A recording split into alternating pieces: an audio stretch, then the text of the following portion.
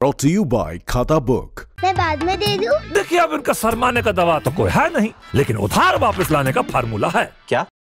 कैसे? खाता book download करिए या उधारी का रिमाइंडर भेजे और उधारी वापस लाए फटाफट। माथुर के पैसे आ गए। खाता बुक बिज़नेस हुआ इजी जीतन राम मांझी इस वक्त हमारे साथ है। मांझी जी नीतीश जी से आपकी मुलाकात हुई है क्या बातें हुई? देखिए चुनाव के बाद बैठक हम बातें नहीं हुई थी।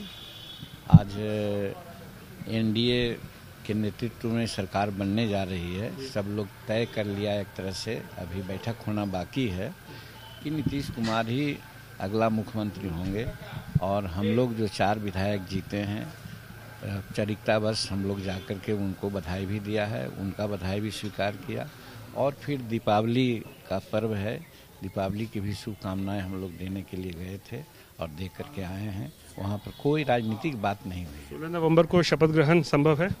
अब क्या है ये हम लोग नहीं जब तक के एनडीए की बैठक नहीं होगी बैठक में नेता पद का औपचारिक रूप में चयन नहीं होगा तब तक डेट का कोई सवाल नहीं वैसे आज सभी इलेक्टेड विधायकों की सूची माननीय गवर्नर साहब को सौंपी गई है। गवर्नर साहब इसको नोटिफाई करेंगे। नोटिफाई के उपरांत ही डेट तय होगा। वो जानेंगे नेता और जानेंगे राज्यपाल भवन के लोग। उसमें हम लोग अभी कुछ नहीं कर सकते। जी आपकी पार्टी चार विधायक आपके जीते हैं। सरकार में आपकी भागीदारी सुनिश्चित होना ही चाहिए। नीति मांझी जी खुद मंत्री बनेंगे क्या? नहीं, इस मामले में हम बहुत पहले भी बोल चुके हैं कि हम मुख्यमंत्री पद पर रह चुके हैं और उसके बाद किसी मंत्रालय में हम नहीं जा सकेंगे। हालाँकि कि कोई कानूनी बाध्यता नहीं है माननीय केदार पांडे माननीय दुर्गा प्रसाद राय मुख्यमंत्री होते भी उसके बाद किसी के मंत्रिमंडल में भी शामिल हुए थे। लेकिन वो उन लोगों की बात ही हमारी बात है कि हम मुख्यमंत्री रह चुके हैं। किसी मंत्री पद पर हम नहीं जाना चाहेंगे। इसीलिए इस चैप्टर को तो बंद कर देना चाहिए। कन्फर्म आप नहीं बनेंगे। हाँ मंत्री नहीं नहीं हाँ, बनेंगे। नहीं नहीं। डिप्टी सीएम की मांग आप लोग की तरफ़ से हो रही है? अब वो हम लोग कोई मांग नहीं कर रहे हैं ये सब आप लोगों की बात है। हम लोग जब चुनाव में साथ हुए थे एनडीए के साथ तो उस समय भी कोई शर्त नहीं था हम लोगों को कितना सीट हमको मिलेगी, कितना पर हम लड़ेंगे, कितने मांग है, ये सब नहीं। अनकंडीशनल था। आज भी वही स्थिति है।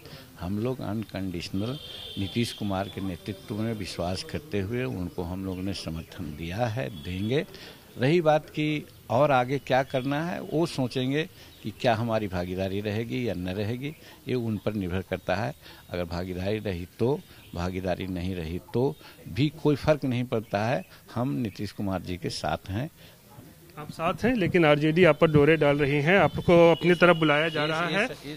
आपको मुख्यमंत्री पद की भी मतलब आपको ऑफ़र आया ये मीडिया का कुरफात है आपस में लड़ाई लगाने की बात है ये राजनीतिक बात है इसमें हमको विश्वास नहीं है। तो आपको आरजेडी ऑफ़र कुछ मिला नहीं है? सवाल ही नहीं उठता है ऑफ़र देने का हिम्मत कैसे हमारे पास करेंगे वो?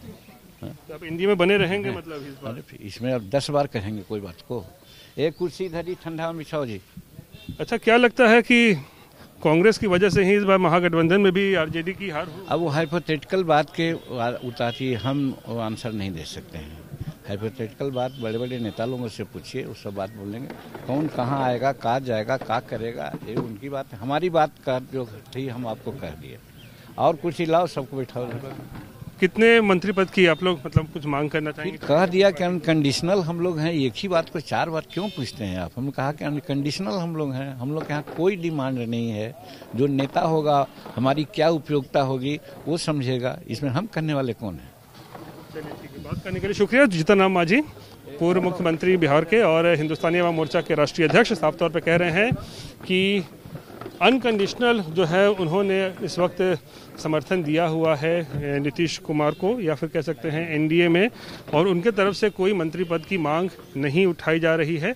हालाँकि उनका कहना है कि जो भागीदारी अगर उनको दी जाएगी सरकार में तो उसको वो कबूल करेंगे। खुद मंत्री बनेंगे कि नहीं, इसको लेकर उनका कहना है, क्योंकि वो मुख्यमंत्री रह चुके हैं तो खुद वो मुख्यमंत्री के खुद मंत्री बनने के, माफ़ कीजिएगा, वो हक में नहीं है। कैमरा पर्सन दीपक कुमार के साथ रोहित सिंह।